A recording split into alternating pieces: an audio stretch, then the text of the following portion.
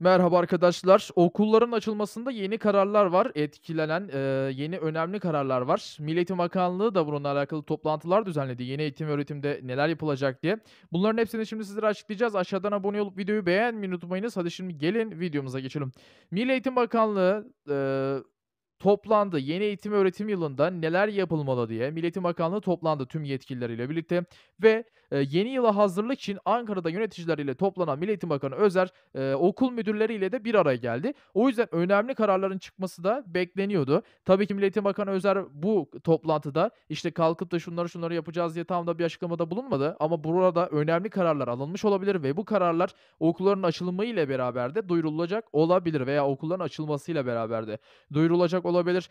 Eee, Milli Bakanı açıkladı, ııı, ve gerçekten önemli açıklamalarda da bulundu. İii, yeni eğitim öğretimin başlamasıyla ilgili. Yeni kararlar arasında aslında baktığımızda, nasıl diyelim sizlere, maske takma zorunluluğu bu arada olabilir artık. Çünkü vakalar arttı. Okullar 12 Eylül'de açılana kadar vakalar çok daha artacak. O nedenle maske zorunluluğu tekrardan geri gelebilir. Peki sadece maske zorunluluğu mu? Hayır. Matematik dersi, İngilizce dersi gibi bu tarz derslerde yeni değişiklikler yaşandı ve özellikle Metaverse dediğimiz eğitim düzeyi arttırılacak. Metaverse, eee, dersleri artık matematik, eee, coğrafya gibi bu tarz derslere de yayılacak. Sadece mesleki eğitimle kalmayacak ve, eee, artık coğrafya gibi dersler, tarih dersleri artık sanal gerçeklik ş eee, gözlükleriyle daha rahat bir şekilde işlenebilecek. Bunu da sizlere aktaralım eee, aktaralım. Eee, ama tabii ki bu dönem mi başlar başlamaz bilemiyoruz. Bunu da aktaralım sizlere tekrardan. Kanalımıza aşağıdan abone olup videoyu beğenmeyi unutmayınız. Görüşmek üzere.